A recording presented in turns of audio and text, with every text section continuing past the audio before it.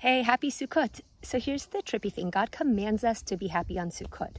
But it's a little bizarre. Like, I command you to be happy. And, like, what if you're having a hard day in the Sukkah? Like, what do you do? You know? And, like, also, like, for a lot of people, learning the state of happiness or the art of happiness is a lifelong journey, as it was with me. So uh, this is something I really wanted to hack and figure out how to do. So a few years ago, I went on a plant medicine retreat and whoa, I was signed up for two journeys and the first one was like living hell on earth.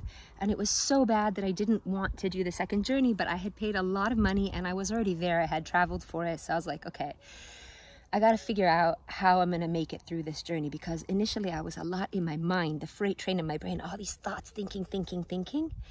And the medicine woman helped me realize that when we're thinking in the past, we have resentment or regret. And when we're thinking in the future, we have worry or anxiety. So she said, try just really focusing on your breath.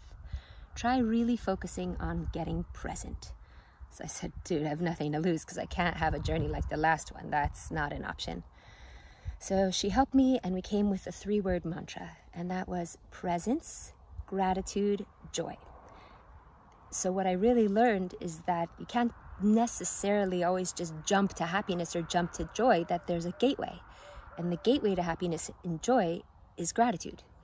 But sometimes you can't always jump to gratitude. So first, it's through presence, through our breath. So if you're in your sukkah and you really want to serve God and God says, be happy, here's a hack that I invite you to try. So first, how to get present you just follow your breath, right? So for me, that just looks like four breaths in, four breaths out, and I count so that I have something to sort of stay focused on. So it's just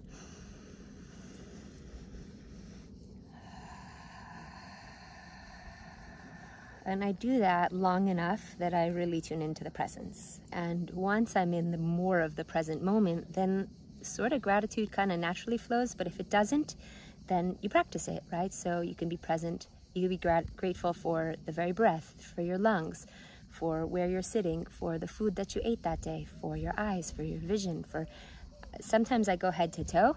And usually by the end of the time that I get to my toe, sometimes I do all the things on the outside and all the things on the inside of my body, like each organ and digestive system and sinew and like your ankle tendons. I don't even know if we have ankle tendons, but usually by the time I really do this avodah, this work, then I really can have access and arrive at joy. So, you know, it's like sometimes the simplest things can feel the most difficult. And this life hack really, really worked for me. And I continue to practice it years later. And because it's a service of God to be happy on Sukkot, so it's good to figure out how to do this service. So I invite you to try it. Grat- um, presence, gratitude, joy. Presence, gratitude, joy. So I really bless you that it works for you. And uh, happy Sukkot. Yay. Thank you so much for tuning in with me.